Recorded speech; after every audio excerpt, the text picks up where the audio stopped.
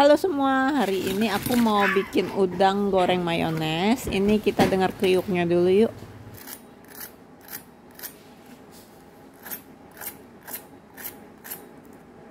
Nah, ini dia bahan-bahan yang aku pakai, cukup simple dan ini tuh rasanya enak banget ya. Pertama ini kita campurkan dulu tepung dan airnya ini airnya kira-kira dulu ya jangan masukin semua dan kebetulan ini untuk takaran airnya itu kurang lebih 100 ml tapi aku nggak nyampe semua sih masih ada sekitar 10 ml jadi aku pakai 90 ml sampai tingkat kekentalan yang aku mau. Jadi di sini nggak kental banget dan juga nggak encer ya kayak gini. Nah setelah itu ini langsung kita campurkan aja udangnya ke tepung kering dulu ya. Ini aku tepung keringnya pakai tepung kering tepung terigu aja satu sendok. Cuman asal buat lapisan aja.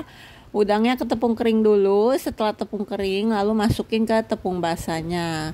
Kalau udah semua ini udah siap digoreng ya. Dan sekarang ini aku mau goreng. Pastikan minyaknya itu benar-benar panas dulu ya. Nah ini aku goreng dulu udangnya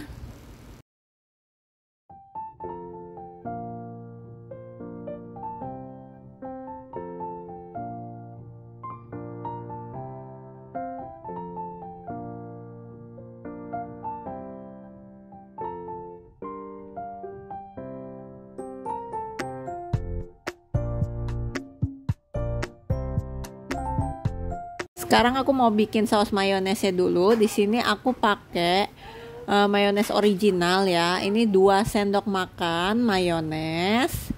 Setelah itu ini aku tambahkan 1 sendok makan susu kental manis. Kalau untuk manis bisa disesuaikan aja. Ini aku pakai 1 sendok makan dulu.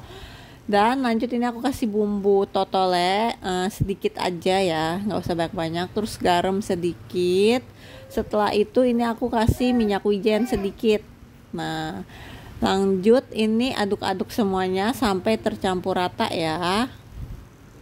Kalau udah tinggal campurkan saus mayonesnya ini ke udangnya yang tadi udah selesai kita goreng ya Nah, pastikan udangnya itu jangan terlalu panas, jadi udangnya itu udah dingin ya, anget-anget juga nggak apa-apa sih, tapi jangan panas-panas. Nah, setelah itu ini mayonesnya kalau udah dicampurkan ke udangnya aduk sampai benar-benar rata ya harus rata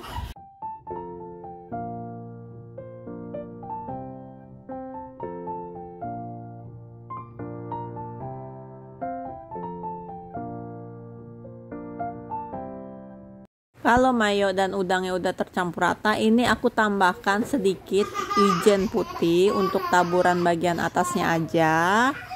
Udah deh jadi. Ini tuh asli enak banget. Anak aku aja tuh suka banget ya. Dia sampai minta nambah terus.